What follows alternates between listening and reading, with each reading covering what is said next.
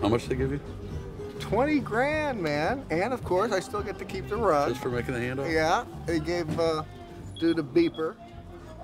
Also, whenever these guys call. What if it's during a game? Oh, I told them uh, if it was during league play. What's during league play? Life does not stop and start you at your convenience, you I, miserable uh, piece of shit. I, I figure. What's wrong with Walter, dude? Uh, I figure it's easy money. You know, it's all pretty harmless. She probably kidnapped herself. Huh? Oh, what do you mean, dude? rug peers did not do this. Look at it. A young trophy wife marries this guy for his money. She figures uh, he isn't giving her enough. You know, she owes money all over town. That Oh, fucking. it's all bitch. goddamn fake, man. It's like Lenin said.